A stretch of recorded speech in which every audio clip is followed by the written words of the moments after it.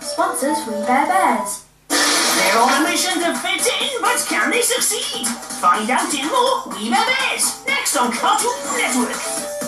With the future